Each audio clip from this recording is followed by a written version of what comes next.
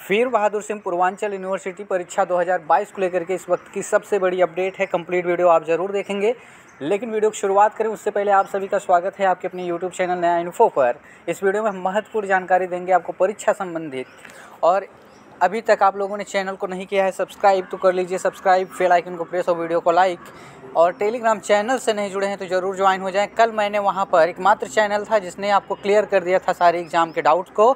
और कुछ कारण से वीडियो नहीं मिला था आपको, लेकिन वहाँ पर सारी चीज़ें मैंने सबसे पहले आपको जानकारी दे दिया है।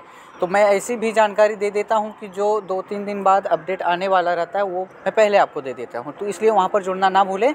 अब चलिए वीडियो को शुरू करते हैं। इस वीडियो को शेयर ज़रूर कर दीजिएगा अपने साथियों के पास।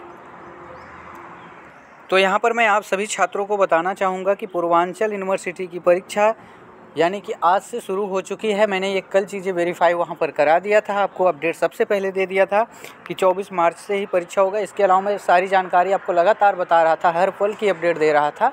तो यहाँ पर जो सबसे बड़ी चीज़ है कि इस बार परीक्षा जो आपकी ली जा रही है, अभी तो केवल प्रथम सेमेस्टर के स्टूडेंट्स का हो रहा है। यानी कि जिनका इस समय तो प्रथम पाली चालू हो गया होगा। और इसमें सबसे बड़ी चीज़ ये है आप सभी छात्रों के लिए जो भी अब आगे जाएँगे एग्ज़ाम देने, यानी कि सेकेंड थर्ड में, पाली में तो उनको मैं बताना चाहूँगा कि डेढ़ घंटे का एग्ज़ाम होगा, विशेष रूप से आप इस बात का ध्यान रखेंगे।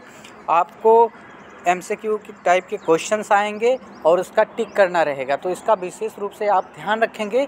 और इसके अलावा जो सेकेंड ईयर और थर्ड ईयर के स्टूडेंट हैं उनकी भी परीक्षाएँ मैं आपको क्लियर कर दे रहा हूँ कि 28 तारीख से ही फाइनल कर लिया गया है कोई दिक्कत नहीं है। अब रही बात जो पचास हज़ार स्टूडेंट वाला मैटर है वो कोर्ट में है उससे आपको लेने दे, लेना देना नहीं है क्योंकि यूनिवर्सिटी ने फ़ीस की नोटिस खुद ही जारी किया था और गलती ये छात्रों की है और उम्मीद करते हैं कि कुछ इसका रिज़ल्ट निकले तो देखा जाएगा, लेकिन फ़िलहाल की जो ये अपडेट है कि परीक्षा में आपके कोई बदलाव नहीं हुआ और एग्ज़ाम नया इन्फो ने बोला था कि शुरू होगा 24 तारीख को और 24 तारीख को शुरू हो गया है।